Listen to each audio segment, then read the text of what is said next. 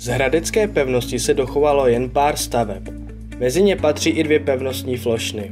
Flošně byly předsunuté dělostřelecké pevnostky, vzdálené od pevnosti cca půl kilometru, které měly za úkol při klasickém způsobu obléhání prodloužit dobu nutnou k dobytí pevnosti. Kolem Králové hradecké pevnosti stály od roku 1774 tři flošny. Nazývaly se Pražská, Pivovarská a Pajkrova.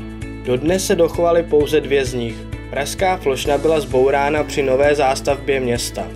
Nacházela se přibližně v místech rozhraní Gočárovy třídy a Ulrichova náměstí.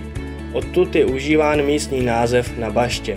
Pajkrova flošna dodnes stojí u farmaceutické fakulty a pivovarská o necelých 300 metrů dále vedle koupaliště Flošna. Koupaliště bylo pojmenováno právě podle pivovarské flošny. Obě flošny byly obehnány příkopem a střechy byly tvořeny cca 2 metry vysokým hliněným náspem. Původní vzhled obou kasematních objektů výrazně narušilo zasypání příkopů a vybourání a přezdění střílen, protože po zrušení pevnosti byly budovy přestavěny a využívány pro podnikatelské účely. To dokazuje právě pojmenování jedné z flošen po podnikateli Rudolfu Pajkrovi. Dnes obě zbylé flošny chátrají a slouží jako skladiště nebo jako garáže. Jen o pivovarské flošně se mluví, že by v budoucnu mohla být přestavěna a vzniknul by z ní studentský klub.